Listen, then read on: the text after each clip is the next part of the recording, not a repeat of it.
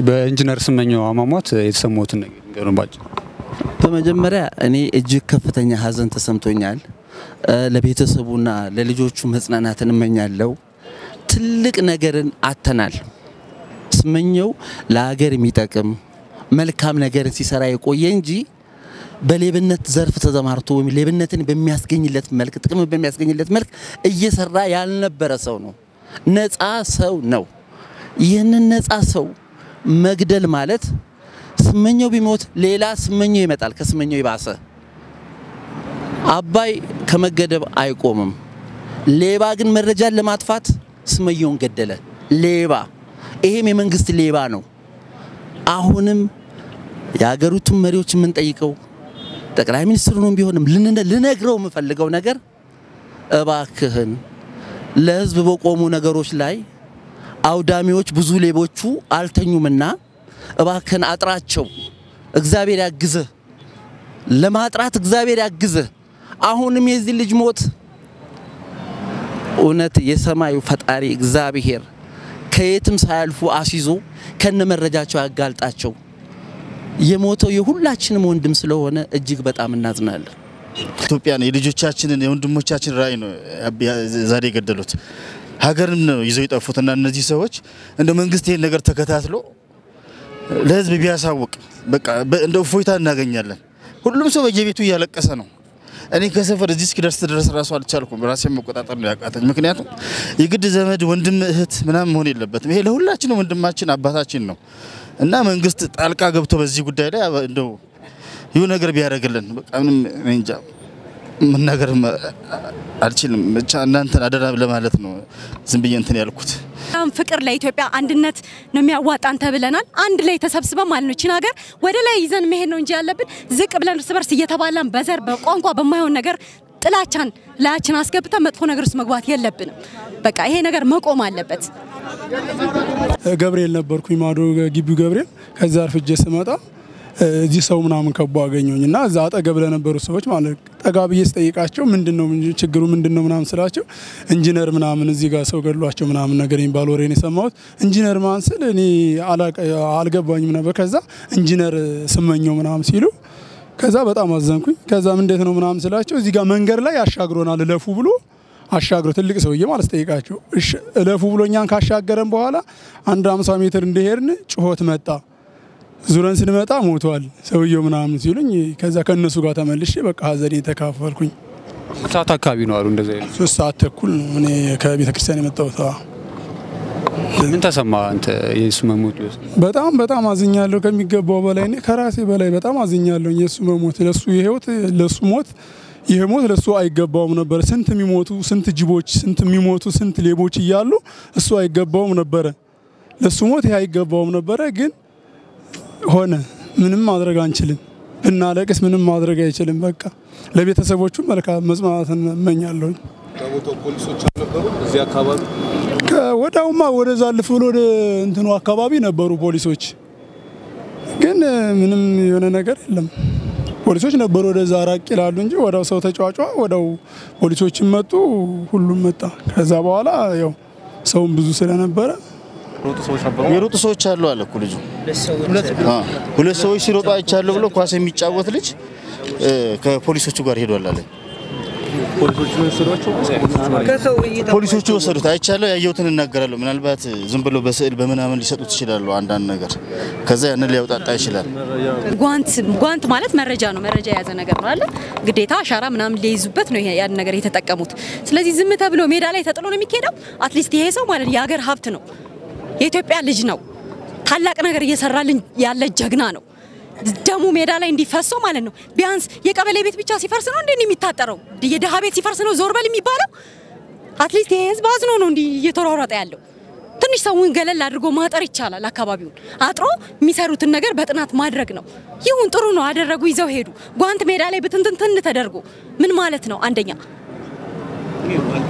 እና በጣም የሚያሳዝን የሚያሳፍር ነገር ነው የሆነው።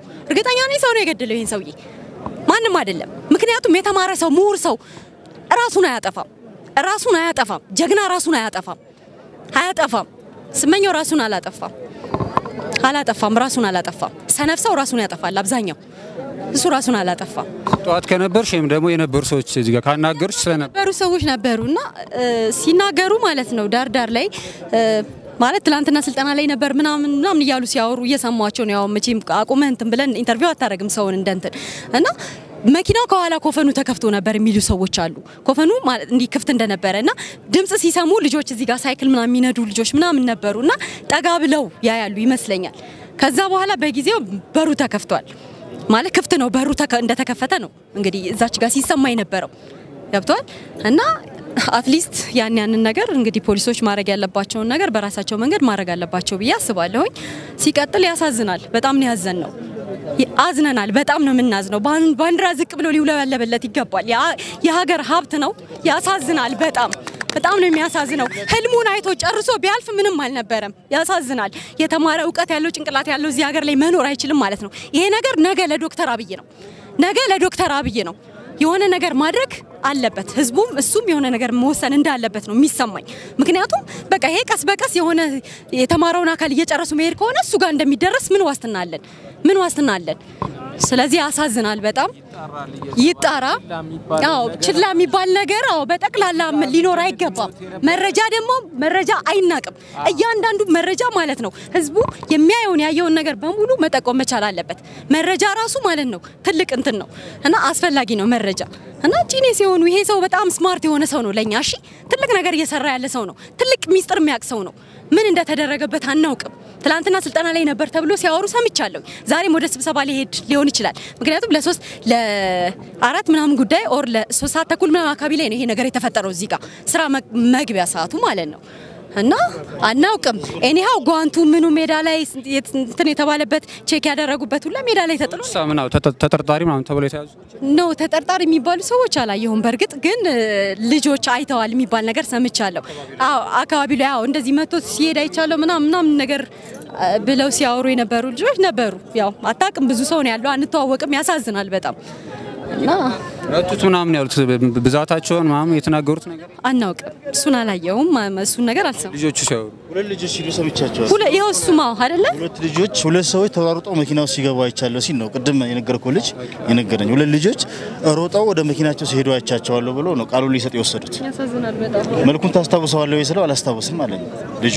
እኛ ማለት እኔ እዚህ ቤቴ- አካባቢ ነው ስራዬ ቃሉን ሊሰጥ የሄደውን ልጅ እኔ አንድ መልእክት ለኢትዮጵያ ወጣቶች ላስተላልፍ። አመሰግናለሁኝ። እኔ ማለትም በተደረገው ነገር በጣም ልብ የሚነካ በጣም እውነት እውነት ሰው የሆነ ሰው ሁሉ በጣም ልብ የሚነካ ነገር ነው የተደረገው ማለት ነው። በጣም የሚያዛዝን ነገር ግን እኔ ለኢትዮጵያ ወጣት እንደ ወጣት የማስተላልፈውን ነገር ቢኖር የኢትዮጵያ ወጣት እያንዳንዱ በሰፈሩ ላይ የሚደረገውን ነገር ታሽጎ የሚንቀሳቀሱ ነገሮችን እያንዳንዱን ጥቆማ እየሰጠ ጥቆማ የማይቀበለው አካል ከሌለ በመደራጀት እንዲፈተሽ ማስደረግ መቻል አለበት። እያንዳንዱ ወጣት ማለት ነው። እኔ ለምሳሌ ልንገርክ አሁን ያሳለፍነው እሁድ ሳምንት ወደዚህ ወደ ሀና ማርያም አካባቢ የፖሊስ መኪና ነው የሚለው መኪናው ሶስት ቁጥር አለው ታርጋ ቁጥሩ ላይ ፒስ ይላል። ነገር ግን በጣም በብረት ሳጥኖች የታሸጉ እቃዎች እየወጡ ነበረ ተጭነው ማለት ነው። እንደ አጋጣሚ እድር ሰብስቤ ስመለስ አየሁት። ሳየው ሹፌሩን ያነበብኩት መጀመሪያ ማለት ነው። ሹፌሩን ሳነበው አይኑ የተለያየ ቦታ ነው የሚያማትረው። ከዛ እኔ ወዲያውኑ ኮንትራት በሞተር ያስኩና እየተከተልኩት ጥቆማ ሰጠውኝ። ተይዟል። ይፋ የተደረገ ነገር የለም በእርግጥ ማለት ነው። ነገር ግን እያንዳንዱ ወጣት ይሄንን ነቅቶ መጠበቅ መቻል አለበት። ማለትም አሁን ለተወሰኑ አካላት ብንተው እያለቅን ያለነውን ነገር ማየት መቻል አለብን። ማለትም የተወሰነው አካላት የተወሰነ አካላት ብቻ እችን ሀገር ሊጠብቃትና ወደፊት ሊያስቀጥላት አይችልም። እያንዳንዳችን ወጣቶች እያንዳንዳችን ወጣቶች ነቅተን መጠበቅ መቻል አለብን። ሁላችንም ባለድርሻ መሆን መቻል አለብን። ሁላችንም ወታደር መሆን መቻል አለብን። ለእያንዳንዱ ነገር ማለት ነው። አሁን በየክልሉ ላይ በየድንበር ላይ እየተሰራ ያለውን ነገር ያው የምናየው ነው የምንሰማው ነው። አሁን በተለያየ መልኩ እኔ ለምሳሌ አርሲ ልጅ ነኝ። በእኛ በኩል ምን እየተሰራ እንዳለ ያው የማውቀው ታሪክ አለ።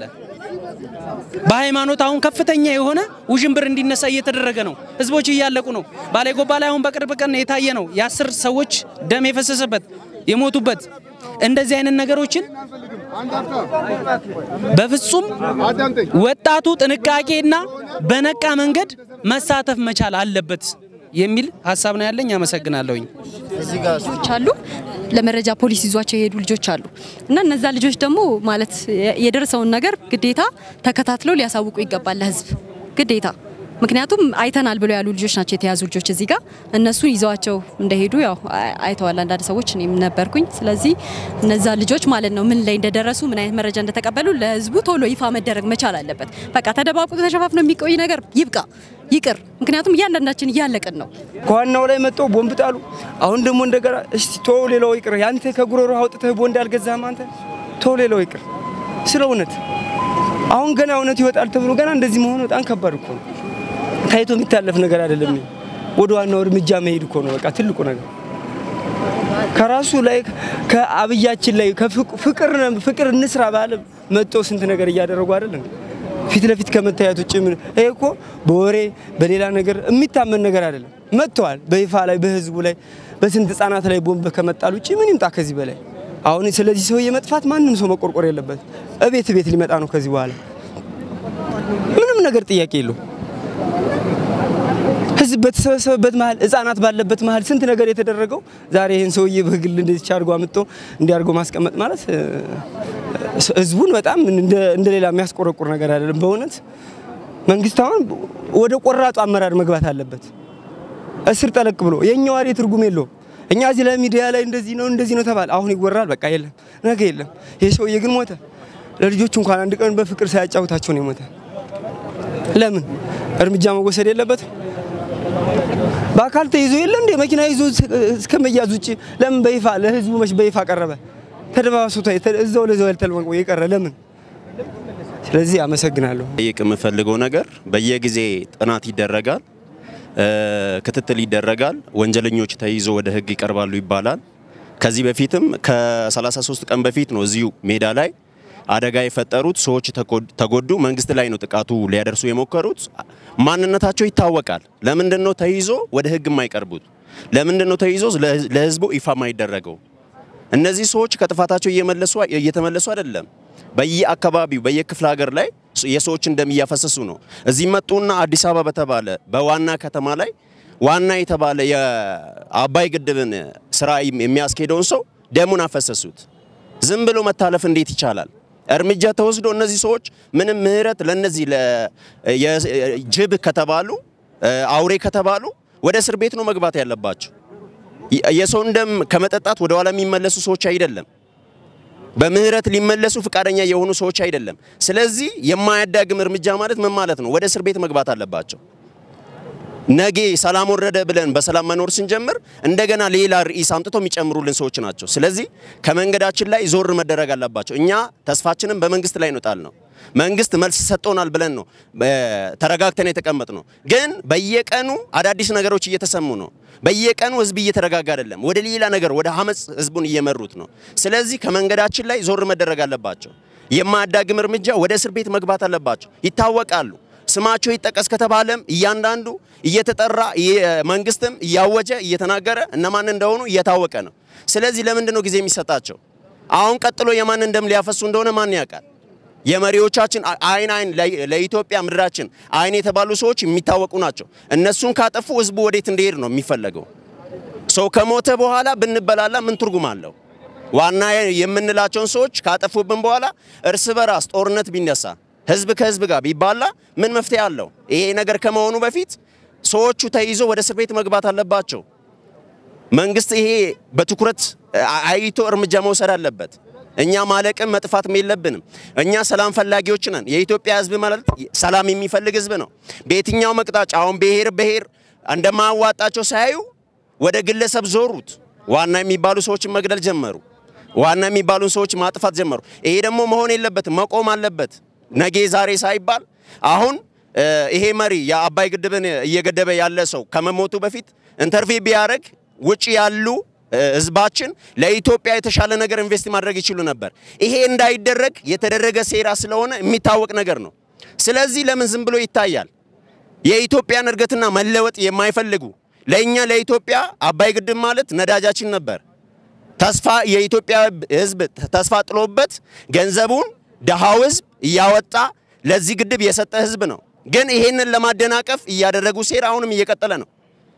እያንዳንዳችን ላይ ትኩረት እያደረጉ ስለሆነ የኢትዮጵያ መንግስት አሁንም ፍቅር እንዳለ ሆኖ እነዚህ ፍቅር የማያውቁ ሰዎች ደግሞ ፍቅር እስከሚለማመዱ ድረስ ወደ እስር ቤት እንዲገቡልን እንጠይቃለን። ከዚህ ውጭ ሌላ የምንለው ነገር የለም።